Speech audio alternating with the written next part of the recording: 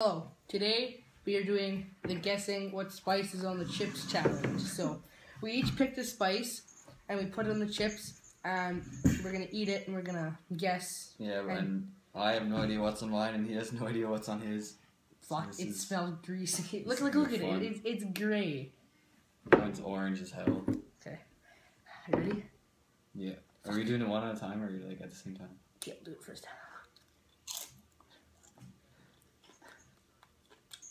I already know what it is. How many guesses do we get? One, Uh, two. maximum two. Okay. Okay, so now I'll go. Yep. I got it right. I can't even taste it. I want to put more. no, it's fine. You nailed mine. Oh, oh my god, that's hot. I told you. I told you. Holy lick. Okay, so I'll guess first. Okay. Dillweed. Nope. Um, pepper. Nope. What? what was it? Thyme. Oh my god. Okay, guess. Holy. You get two guesses. I don't know what that could even be. Well, it's obviously not seasoning salt.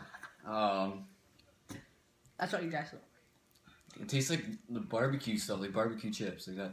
Bar- It's like- barbecue, like barbecue. It's like some sort of barbecue seasoning. One left. Uh, no idea. I'm just gonna give it up It's, to. it's cayenne pepper. Oh god damn! It was in the very back of the cupboard. Oh, you. It was in that cupboard, like right, right there. That's, It was in the very back. Dude, I can't even smell it. That smells like fucking like candy. Are we Smells done it this video? Yep.